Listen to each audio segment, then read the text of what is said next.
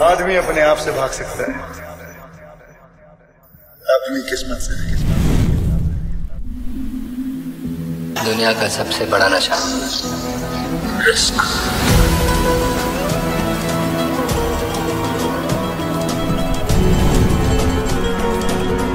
वो उस महल से आए। हेलो एंड वेलकम टू बॉलीग्राउड स्टूडियोज दोस्तों, अभिषेक शर्मा के डायरेक्शन में बनी राम सेतु 25 अक्टूबर पर रिलीज़ होने के लिए पूरी तरह से तैयार है।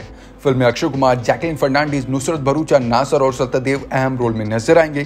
फ़िल्म की कहानी एक आर्कियोलॉजिस्ट के इर्द गिर्द घूमती है, जो राम सेतु के एग्जिस्टेंस पर भरोसा करता है।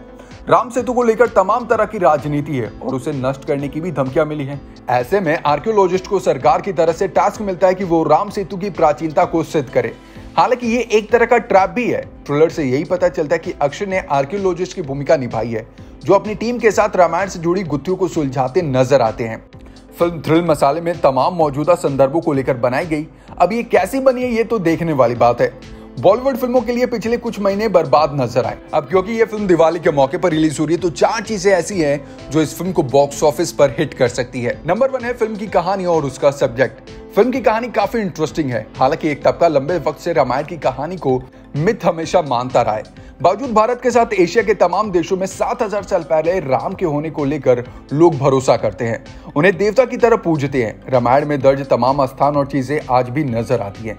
एक समय तक राम सेतु के अस्तित्व को खारिज किया जाता था, लेकिन तकनीकी की वजह से कुछ वैज्ञानिकों अनुसंधानों में पता चला कि भारत को श्रीलंका से जोड़ने वाली किसी पुल जैसी चीज़ का आज भी अस्तित्व है। नासा ने भी इस बारे में काफ़ी काम किया है। हालाँकि ये प्राकृतिक है या मानव निर्मित, इसे लेकर पर्याप्त अभी भी कॉन्ट्रोवर्सी चलती रहती है। मगर रामेश्वरम में श्रीलंका तक एक सेतु का अस्तित्व नज़र आता है। हालाँकि पुल बनाने से पहले भगवान राम शिव भगवान की पूजा करते हैं और ये मंदिर आज भी है। ये बारह ज्योतिर्लिंगों में शुमार है जो अभी भी रामेश्वरम में है। रामायण में कहा गया कि लंका अभियान के दौरान भगवान राम की सेना ने नलनी नाम के वानरों की मदद से समुद्र पर पुल बनाया और अभी भी बहुत सारी जगह गणनाएँ और देश काल के सबूत मिलते रहते हैं। राम सेतु की कहानी पहले नज़र में दिविंची कोड की याद दिलाती है। टॉम हैंक्स की फ़िल्म में भी जीजस से जुड़ी एक गुत्थी को सुलझाने की कोशिश दिखाई गई। मौजूदा संदर्भों में दिविंची कोड को बहुत बेहतरीन तरीके से बनाया गया और ये हॉलीवुड की बेशुमार कामयाबी पाने वाली फ़िल्मों में शामिल रही। अगर अक्षय की राम सेतु में वैसी ही थ्रिलिंग एलिमेंट रहा तो दर्शकों को ये फ़िल्म बहुत पसंद आने वाली है। नंबर टू लंबा त्योहार यानी कि वीकेंड फ़िल्म दिवाली के मौके पर मंगलवार के दिन 25 अक्टूबर को रिलीज़ होगी। वैसे दिवाली का जश्न 23 अक्टूबर से ही शुरू हो जाता है। 24 अक्टूबर को दिवाली की छुट्टी है, उससे पहले धनतेरस।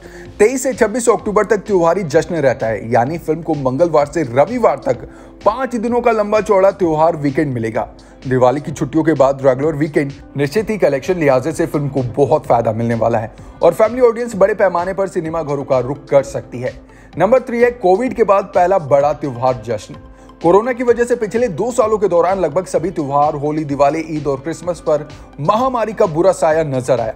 महामारी की वजह से कई सारे प्रतिबंध लगाए गए। इस वजह से सिनेमा घरों पर लगातार नेगेटिव असर पड़ता रहा।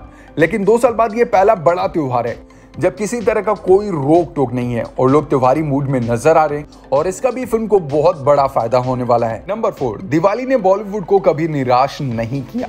दिवाली बॉलीवुड के लिए सबसे बड़ा कारोबारी इवेंट है। दिवाली पर रिलीज़ बॉलीवुड फ़िल्मों ने सिनेमा घरों को कभी निराश नहीं किया। यहाँ तक कि पिछले साल कोरोना को लेकर सिनेमा घर में 50 परसेंट ऑक्यूपेंसी थी।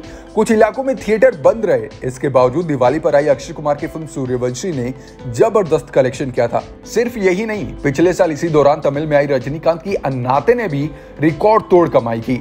बॉलीवुड फ़िल्मों का इतिहास देखे तो ज़्यादातर ब्लॉकबस्टर दिवाली रिलीज़ ही है।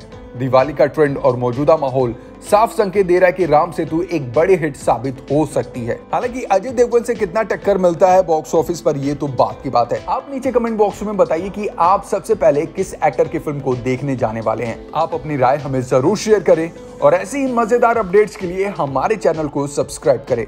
थैंक यू सो मच देखते रहे बॉलीग्राउड स्टूडियोज